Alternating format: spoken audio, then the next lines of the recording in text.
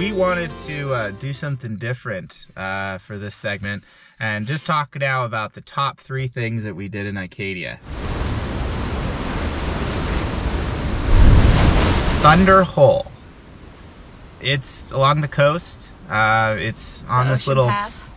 next to the ocean path along the uh, um, park loop.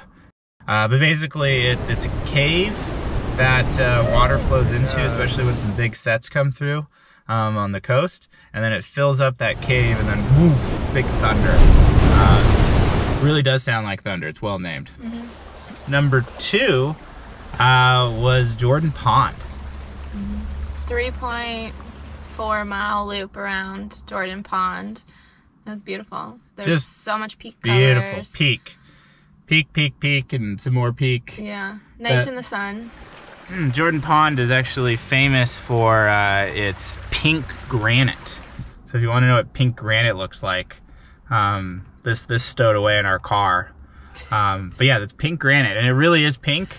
And when you get the leaves, which are you know also pink on the floor of uh, the forest, it is it's beautiful.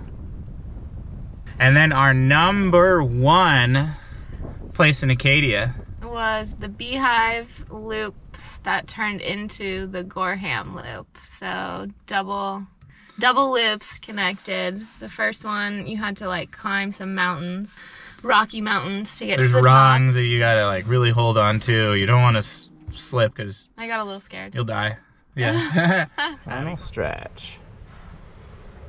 Show's kind of tuckered out. I don't know how to get up this one. You're getting there. This hike's pretty intense.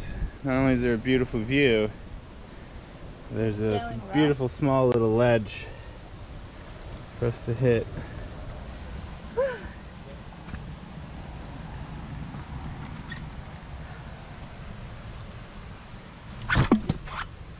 Slick.